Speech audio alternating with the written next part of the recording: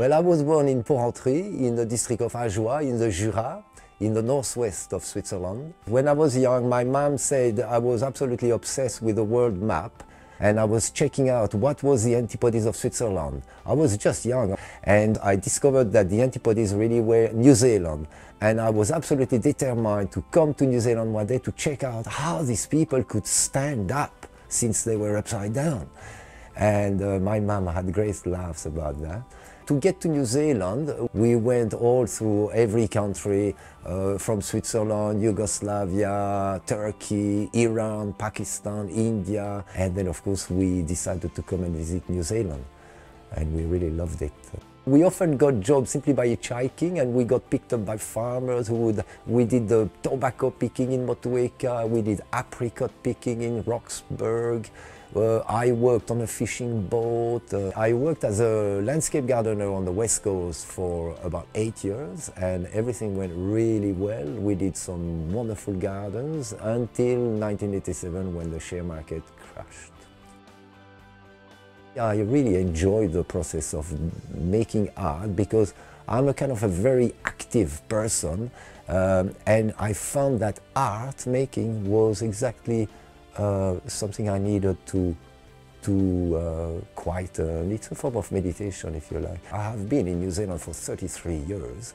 Uh, the influence is really uh, New Zealand, Aotearoa, the land. The way New Zealand is sometimes so uh, rough and so uh, unperfect, unlike Switzerland, I suppose, where everything has to be so perfect, you know.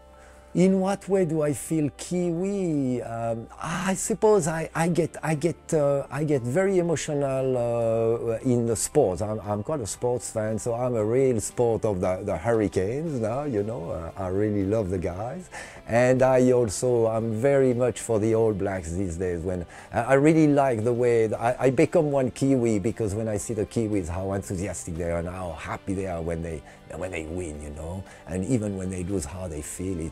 I feel, I feel really Kiwi and I feel, I also feel Kiwi for the, for the land.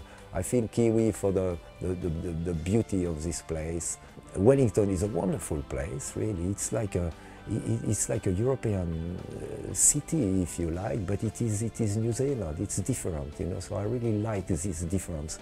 Of course, what I miss the most about Switzerland is my mom's cooking, you know. I also miss, I must say, the, the, the history of it, the architecture. Uh, those beautiful streets full of very old buildings.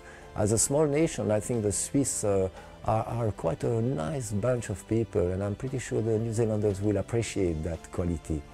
Un mélange de Suisse et de Kiwi.